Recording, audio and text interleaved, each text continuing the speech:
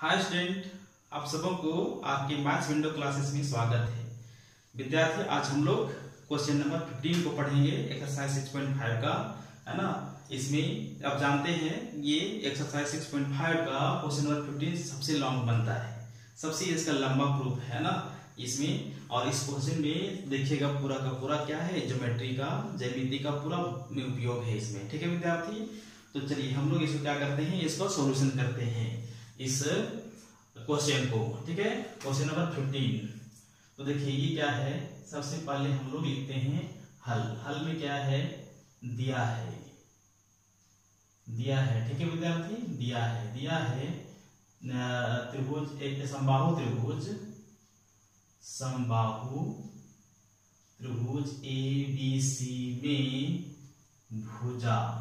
BC पर बिंदु भुजा बीसी पर बिंदु डी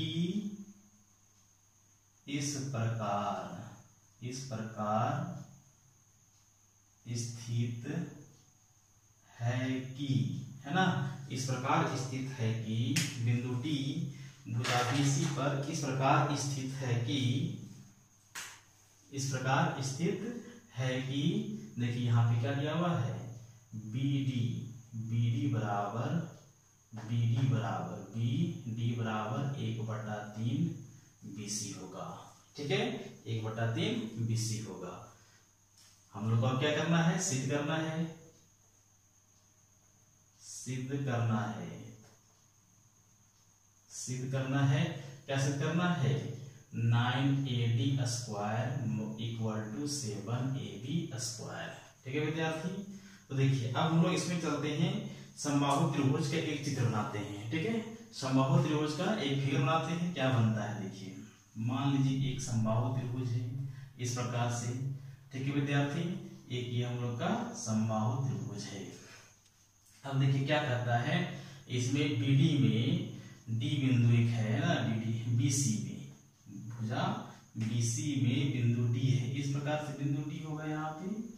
ये हम लोग मान लेते हैं, ये बिंदु डी है और ये हो गया ए ठीक है? इस प्रकार से ये हम लोग का बनता है इसको, ठीक है? तो इसमें क्या करते हैं हम लोग? एक रचना लेते हैं, यहाँ पे लम डालते हैं, क्योंकि हम लोग को पाइथागोरस प्रमेय का इसमें प्रयोग करना है है ना? रचना रचना, क्या है रचना हम लोग को? यहाँ पे शीर्ष ए से, शीर्ष ए से बीसी पर, है ना? बीसी पर शीर्ष रचना क्या है? शीर्ष ए से ए से बीसी लम बीसी पर लम क्या हो जाएगा? ए ई ए ई ठीक है? शीर्ष ए से बीसी पर लम ए ई ठीक है? लोग क्या करते हैं इसका? हम लोग प्रमाण में लेते हैं। प्रमाण क्या आएगा हम लोग को प्रमाण में? तो सबसे पहले लेते हैं समकोण त्रिभुज ए बी ई में। समकोण त्रिभुज। समकोण त्रिभुज ए बी ई में। ठीक है? समकोण त्रिभुज ए बी ई में। क्या है? यहाँ पे देखिए, ये कर्व बन जाएगा। ए बी का स्क्वायर ए बी का square equal to A B का स्क्वायर इक्वल टू ये आधार बन जाएगा बीई बीई का स्क्वायर प्लस ए का स्क्वायर ठीक है? ए का स्क्वायर ये लंब बन जाएगा ए है ना? ये अभी जो दिए हम रचना में ए लंब बन जाएगा। ये कहाँ था? कहाँ से आया? ये पाइथागोरस से प्रमेय से आया, है ना? ये पाइथागोरस प्रमेय से, ठीक है? तो इसको हम लोग समीकरण वन मान लेते हैं, ठीक है? अब हम लोग चलते हैं, फिर अगेन समकोण त्रिभुज ए डी ई में, एवं त्रिभुज ए डी ई में ए ई डी में क्या मिल जाएगा हम लोग को? A D square A D square equal to A E square plus A E लंब और ये आधार D E square D E square ये भी क्या मिलेगा हम लोग को? पाइथागोरस प्रमेय से ही इसको समीकरण हम लोग दो मान लेंगे। ठीक है विद्यार्थी? ये भी हम लोग को क्या आएगा? पाइथागोरस प्रमेय से। तो हम लोग इसको मान ली समीकरण दो। अब समीकरण एक और दो में देखिए। क्या है? यहाँ से हम लोग इसको निकाल लेते हैं ऐसे। ए ई स्क्वायर बराबर क्या हो जाएगा? है ना? ये ए ई ए ई स्क्वायर बराबर। तो डी ई इस इधर आ जाएगा यहाँ प्लस है ना इधर क्या हो जाएगा? यहाँ पे माइनस हो जाएगा। यानी A D square minus D E square हो जाएगा। ए ई स्क्वायर बराबर। तो देखिए यहाँ पे ए ई का वैल्यू यहाँ बैठा देंगे समीकरण वन में, ठीक है? तो लिखेंगे हम लोग यहाँ पे समीकरण वन से। क्या मिलेगा हम लोग को? ए बी स्क्वायर ये ए बी स्क्वायर बराबर B square plus A square यहाँ पे देख रहे हैं। ए स्क्वायर और ए स्क्वायर ये तो इसके जगह पे ये इसके जगह पे इसको लेंगे। क्या मिलेगा? A D square minus D square ठीक है विद्यार्थी? तो ये मिल गया हम लोग को। अब क्या करते हैं यहाँ से? कि देख सकते हैं हम लोग को। तो इसको समीकरण हम लोग इसका थर्ड मान लेते हैं। ठीक है? समीकरण इसको थर्ड मान लेते हैं। अब चलते हैं हम लोग त्रिभुज ए बी ई और त्रिभुज ए सी ई में। त्रिभुज त्रिभुज ए बी ई एवं त्रिभुज ए ई सी में। क्या मिलेगा?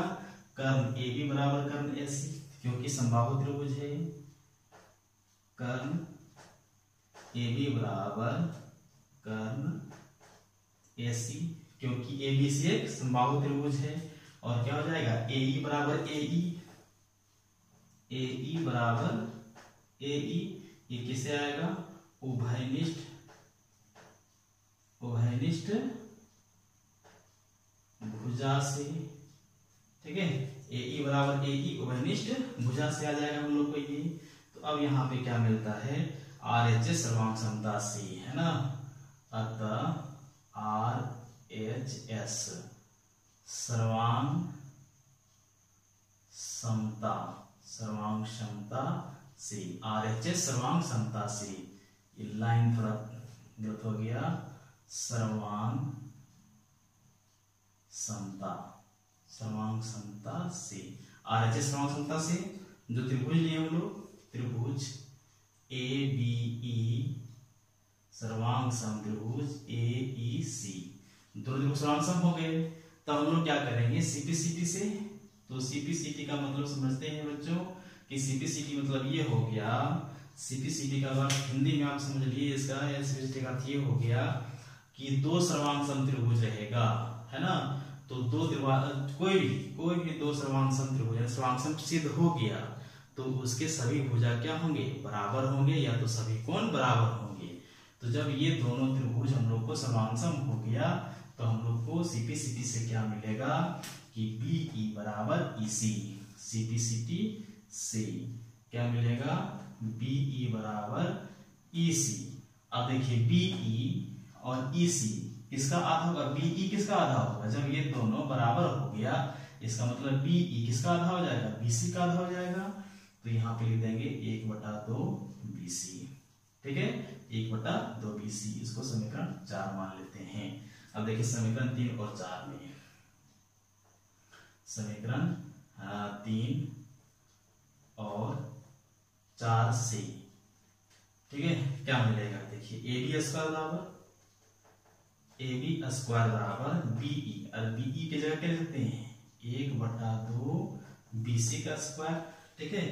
Plus A D square, plus A D square और minus D square, minus D square ये हो जाएगा हम लोग का। तो ए बी इसका क्या हो जाएगा? ए बी स्क्वायर बराबर बी सी स्क्वायर बटा एक बटा दो का मतलब चार हो गया। इसका स्क्वायर करेंगे तो हम लोग, है ना? तो ये चार हो गया। Plus A D square minus D E D E ये देख रहे हैं, ये डीई है है ना? तो ये डीई को क्या सकते हैं? B E minus B D B E minus B D तो डीई बच जाएगा तो वही डीई की जगह पे हम लिखेंगे B E minus B D का होल स्क्वायर हो जाएगा। ठीक है? तब क्या मिलेगा हम लोग को? ए बी स्क्वायर बराबर बी सी स्क्वायर बटा चार plus A D square minus A minus B का whole square A minus B का होल स्क्वायर का फॉर्मूला टूट जाएगा हम लोग को। तो क्या मिलेगा हम लोग को? बीई स्क्वायर है ना? यहाँ ब्रैकेट रखते हैं। Minus two B E into B D और प्लस डी डी स्क्वायर ये हम लोग को मिलेगा, ठीक है? ये हम लोग को प्लस बी डी स्क्वायर ये मिल जाएगा। तो हम लोग क्या करेंगे? ए बी स्क्वायर बराबर। बी सी स्क्वायर बटा चार plus A D square A D square minus अब ये ब्रैकेट को हटा देते हैं तो क्या हो जाएगा? B E square plus two B E into B D minus यहाँ क्या हो जाएगा? यहाँ प्लस और माइनस ये क्या हो जाएगा? माइनस बी डी स्क्वायर ठीक है? तो अब क्या करते हैं हम लोग यहाँ से कि बी सी स्क्वायर बटा चार plus A D square minus B E का वैल्यू क्या लिए थे हम लोग? बीई का वैल्यू एक बटा दो निकाले हैं तो एक बटा दो बी सी का स्क्वायर और प्लस टू बीई का वैल्यू फिर से लिखते हैं हम लोग। एक बटा दो बी सी अब देखिए बीडी का वैल्यू जो दिया हुआ था, उसमें से देखिए बीडी बीडी है ना यहाँ पे, ये बीडी ठीक है? ये बीडी के बदले हम लोग क्या लिखेंगे? एक बटा तीन बी सी एक बटा तीन बी सी माइनस, फिर बी डी आ गया बी डी का स्क्वायर तो वही लिखेंगे एक बटा तीन, एक बटा तीन बी सी का स्क्वायर तो क्या हो जाएगा हम लोग को? बी सी स्क्वायर बटा चार plus A D square minus B C square बटा चार प्लस यहाँ से टू ये टू कैंसिल हो जाएगा। तो ये बी सी और ये बी सी क्या हो जाएगा? बी सी स्क्वायर बटा थ्री हो जाएगा और माइनस बी सी स्क्वायर बटा नाइन हो जाएगा। तो ये अब यहाँ से क्या मिलेगा? ये देखिए यहाँ से बी सी स्क्वायर बटा चार और बी सी स्क्वायर बटा चार, है ना? तो ये माइनस में है और ये प्लस में है। तो पूरा का पूरा टर्म क्या हम लोग का? कैंसिल हो जाएगा। तो कैंसिल हो जाएगा। तो क्या बचा? ए डी स्क्वायर अब इसमें क्या करते हैं हम लोग? एलसीएम लेते हैं। तो नाइन हो जाएगा। नाइन आएगा तो क्या होगा? थ्री पी सी स्क्वायर होगा माइनस बी सी स्क्वायर होगा तो यानी A B A B square इसी का मान निकाल रहे हैं हम लोग ए बी का। ए बी का मान निकाल रहे हैं तो ए बी स्क्वायर बराबर ए डी स्क्वायर प्लस अब ये घटेगा तो क्या बच जाएगा? टू बी सी स्क्वायर बटा नौ। अब ये नौ जो है, इसके भी गुना हो जाएगा, है ना? तो यहाँ से हम लोग क्या हो जाएगा इस राशि देखिए, इस तरह से हम लोग का हो जाएगा। ये, यहाँ से हम लोग को ऐसे लेते हैं। क्या मिल जाएगा हम लोग को? कि नाइन है ना? A B square equal to nine A D square plus two B C square अब क्या करते हैं? ये बी सी स्क्वायर को इधर ले आते हैं। ये बटा नाइन हो गया पूरा पूरा यहाँ पे। ये नाइन छोटा होता ना? बटा नाइन हो गया। अब ये नाइन जो है यहाँ आ जाएगा।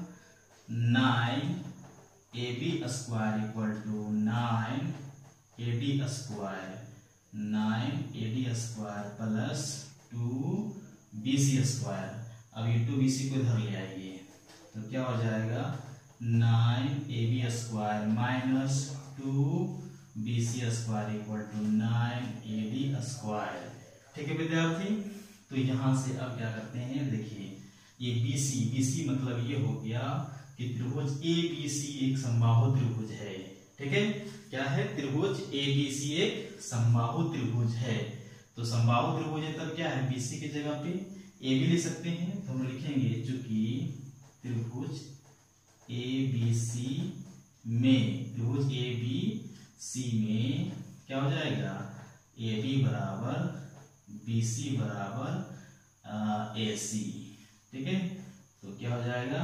इसलिए क्या हो जाएगा हम लोग को nine A B square minus two A B square, यहाँ पे बी सी जगह पे A B square equal to nine A D square. तब यहाँ पे माइनस घट जाएगा तो क्या मिलेगा हम लोग को? Seven seven A B square equal to nine A D square. ये हम लोग को प्रूव्ड हो गया। ठीक है विद्यार्थी? तो देखिए यहाँ पे पूरा का पूरा आपका सॉल्यूशन ये फिफ्टीन नंबर क्वेश्चन का हो गया, है ना? ये क्वेश्चन नंबर फिफ्टीन का ये आपका सॉल्यूशन पूरा का पूरा हुआ देखिए कितना अच्छा लगता है बनने के बाद, है ना?